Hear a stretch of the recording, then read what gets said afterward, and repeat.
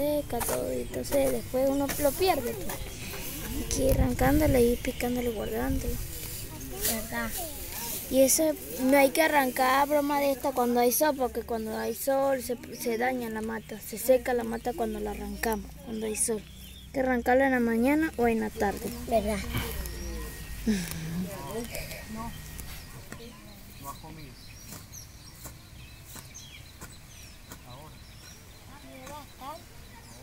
Mira, ya viene José.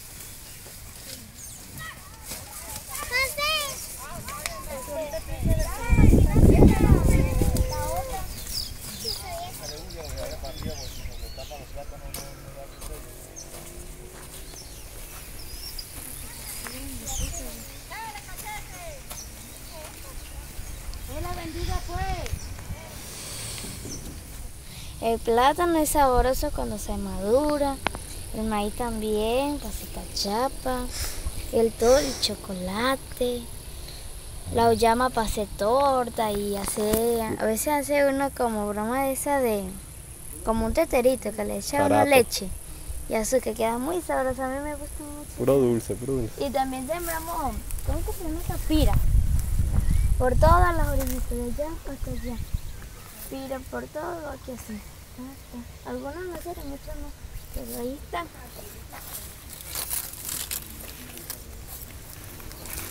Y este plátano a veces lo sembramos. Me lo regalamos una semilla, entonces lo sembramos. Y, y lo sembramos en verano, entonces le echábamos todo, todos los días, le echábamos agua. Y eso, eso se- y pasaban la gente, se quedaban mirando los plátanos, porque hay muchos plátanos que tú ves por ahí, un pocotón de hojas caídas secas. Pero estos estaban muy bonitos, estaban así chiquiticos y estaban bien bonitas. Porque le echábamos todos los días agua. Antes de irnos para el curso, le echábamos agua. Y en la mañanita cuando nos parábamos también le echábamos agua. Y por eso están grandecitos ya. Y ya tienen hijos, paren rápido. tienen bastante. Porque son las semillas. Por eso no son rápidos. Quedó por ahí por los maíz. Hay mucha más. Y aquí limpiaron hoy. Creo que van a sembrar maíz. También porque mi mamá está sembrando el maíz en medio de los platos. Con las sombras.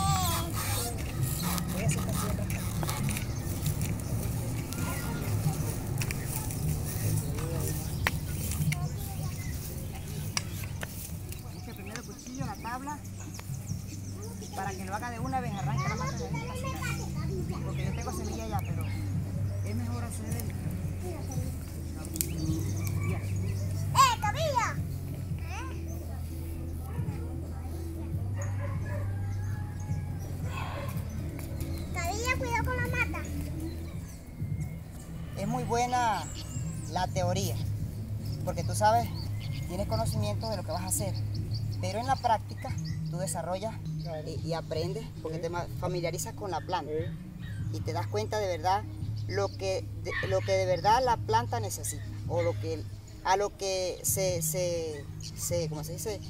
Se- la planta este, necesita para, para uno hacer el, el trabajo bien. El trabajo se hace es en el campo. Como ahorita, pues, así que está explicando sí. y haciendo. Eso es el trabajo. Estamos preparando para que Ahí. salga bien. Ah, vayan preparando, mi amor, si quieren. Lo que le llaman la niña, que la van a- O la madre. Ya sabes. ¿Ves? Ya queda preparada la semilla. Le dicen la nigua. Si no le quitan eso, ayúdale a su mamá. Flor, explíquele cómo va a ser. Que le arranca el cebollín, dígale que vaya arrancando para que le Se le pueden dejar una o dos Claro, hojitas. esto ya tiene boca, no le puedo echar mucho. Como también se puede sembrar así. No hay ningún problema en sembrarla así también. Esta tierra está bonita, ¿verdad? Ese es el pico, está bonito. Porque ella ha sido trabajada orgánicamente. Si Dios quiere, vamos a, después que siembre, creo que nos vamos a, poner a ver si, si podemos conseguir ayuda, podemos dar talleres, dictar talleres a la comunidad, al que quiera.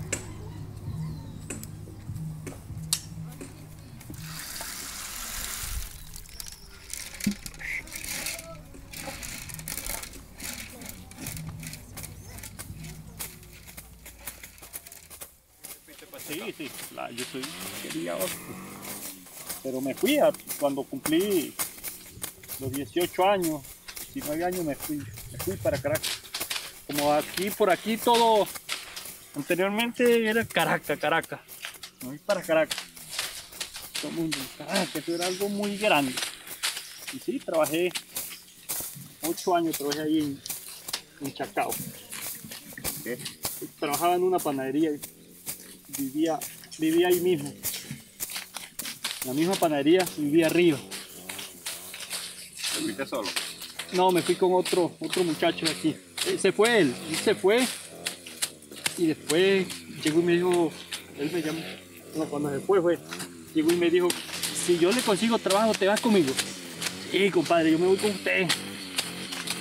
Y trabajamos como, como seis años juntos. Y después él le salió trabajo en una empresa, en una compañía, una constructora que trabajaban los hermanos de él y concha, antes de trabajar en una algo así era muy grande, se ganaba mucha plata.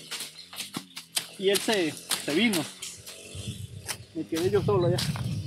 Trabajé como dos años más. Y ahí fue donde decidí, me voy aquí. Y me vine, me estuve como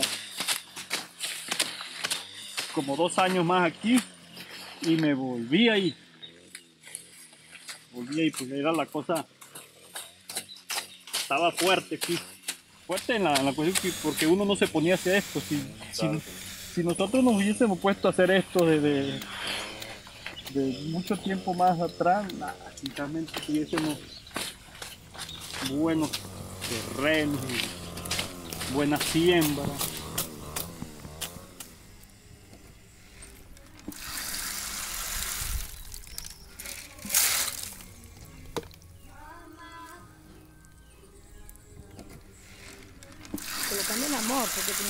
el amor que uno le dé a las matas. Porque si nosotros no sembramos con amor, no se nos da nada. ¿Ves? Todo es el amor, el interés. ¿Ves? Entonces, eso fue con amor con mis hijos. Enseñando a nuestros hijos cómo deben de hacer, cómo deben sembrar la mata, cómo deben crear un pollo, cómo deben crear una gallina. ¿Ves? Si el niño pequeño está limpiando los cumos, la parte de los cumos, porque ellos limpian también, ellos siembran también el cebollín y lo limpian. También ellos le agarran también amor. Porque si yo les muestro yo amor aquí, ellos van a el interés, ellos también se les interesan. Entonces cuando ellos ven que van creciendo una matica, ellos se alegran mucho. Ve, igual que uno, uno se alegra y yo, ay, están haciendo las maticas. Sí, mira mamá, dice. A pesar que soy madre soltera, pues. Y bueno, y gracias al presidente también que, que nos ha ayudado con los bonos y que nos ayuda ahorita hoy en día con, también con la producción, lo que nos dieron, que nos dieron la semillita. Hoy en día voy a sembrar el maíz, el que nos dieron allá, que recibimos, ¿verdad? Para sembrar. Sembrar la, la- la semilla de maíz, el pepino, el ají dulce, el pimentón. Este, nos dieron el abono folián. Ese abono también nos lo dio, ¿verdad? Este, una mujer, gracias al presidente que dio eso para nosotros, para que nosotros produzcamos, para que tengamos, ¿verdad? Gracias a él también y a Dios también. Yo quería. Y después me ayuda.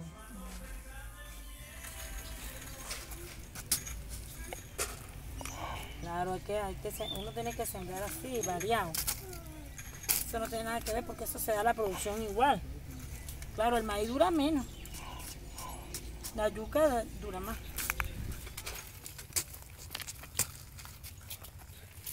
Tres.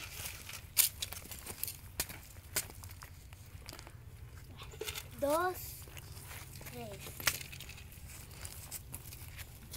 Dos, tres.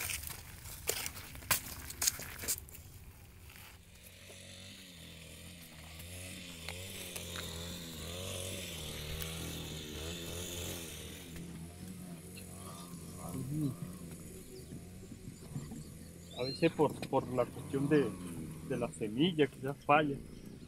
O a veces son los, los animalitos, los pájaros, que sacan la, la semilla.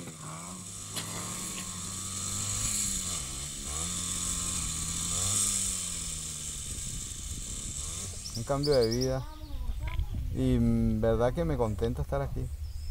No me hace falta Caracas. La extraño por la familia, ¿me entiendes? Que tengo que ir para allá. Ay, agradecido de Caracas porque en verdad viví los mejores momentos. Pero trabajo y me siento bien. Donde tú tienes que estar, donde te sientes bien, ¿sí o no? ¿Verdad? Te sientes cómodo. Aquí sembramos, reímos, pasamos dificultades. Entonces ya me caí, me clavé el machete aquí y me rajé los ojos así. Ah, santo Dios. Ah, pero tranquilo, eso con agüita ahí se curó, ya está sano. Ah, Ya uno se acostumbra aquí a guerrear. aquí sí uno se acostumbra, bueno, a llevar tropezones y de todo, como hablé con un compañero en San Nicolás, él sembró tres hectáreas de yuca. Entonces eh, yo llegué y le pregunté, le dije, epa, fulanito, le dije yo, ¿cuánto, tiene, cuánto espacio hay aquí de yuca? ¿Cuánto, cuánto es el área? Me dijo, tres hectáreas. "Eh, ¿Cuánto gastaste? Bueno, gasté tanto. ¿Y abono químico? Bueno, por demás, dijo. ¿Y en cuánto la estás vendiendo el saco? Me dijo, no, pues si acaso me la pagan a 10 mil. Y no, le, y no le estoy sacando provecho, me dijo. De esto no me está quedando nada, sino el trabajo. Yo le dije, mire, esa, esa, esa cantidad que tú vas a sacar de, de 3 hectáreas, le dije yo, se la saco yo en, en un espacio de 50 por 50. De- en un espacio de 50 por 50 yo puedo producir eh, eh, dos toneladas de cebollín. Dos toneladas. producir. Dos toneladas de cebollín. Y yo le dije, si yo vendo ese cebollín, pero yo que lo venda a 3 mil, le dije yo. ¿Usted no cree que yo por una tonelada estoy sacando 3 millones de bolívares? Y usted con 3 hectáreas de yuca no saca 3 millones. El ají, eh, el ají es, es picante con...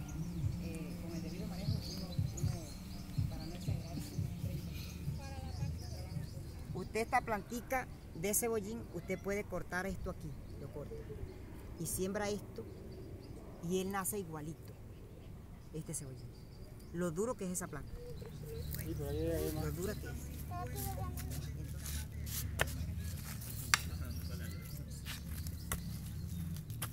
Hacia la matica verde ahí que está.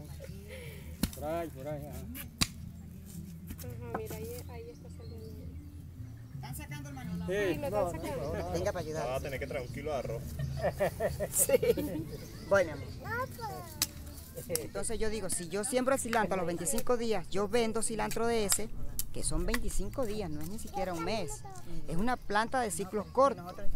Es una planta que si usted está demasiado, este, como se dice, eh, enluchado porque no consigues cómo, cómo obtener un beneficio de, de- algo, tú siembras un, cultivo de cilantro y a los 25 días estás sacando el, el- dinero que necesitas. Ok, que a los 30 días él se me pasó y empezó a florear y ya la semilla, viene la semilla. Bueno, necesitamos la semilla. Si él lo vendo, eh, eh, la mata como tal, yo le saco un, un beneficio. Pero si la semilla, si se me volvió un semillero, es mejor porque la semilla es más cara que la misma mata No, y, la, y la multiplicación. y la multiplicación de la semilla. Ahora fíjese, si el cilantro no nació, entonces perdí todo. No, yo tengo el cebollín, porque este ci- cilantro, después que yo siembre, me queda para sembrar el cebollín. El cebollín no nació y se me dañó, pero eh, yo tengo berenjena, yo tengo ajo de ajo chino, entonces eso ayuda una cosa con la otra. Pero si yo siembro un monocultivo y ese monocultivo llegó la plaga y me lo atacó y, y según como estamos viviendo, nosotros no podemos salir adelante con un monocultivo y más cuando nosotros somos de bajos recursos. Una persona que es de bajos recursos necesita algo que al momento lo saque de, de apuro. Entonces, yo digo que sí es rentable por lo menos trabajar en esta, en esta parte. ¿Por qué? Porque este, este tipo de trabajo lo hace hasta un niño de 6 años en adelante. Lo puede hacer porque ya mi hija, gracias a Dios, ella está aprendiendo, ella me ayuda por lo menos en este caso de, la limpia del arroz. Bueno, yo voy con la escardilla, limpio el arroz por la parte de afuera y donde no llega la escardilla, llega esa manita que es más, más pequeñita, ella puede ir eh, ya ayudando ya. Entonces yo creo que sí es viable trabajar con el patio productivo, con la hortaliza, porque las hortalizas son de ciclos cortos. El arroz son cuatro meses. Él es un poquito más, ya un poquito más de tiempo, ¿verdad?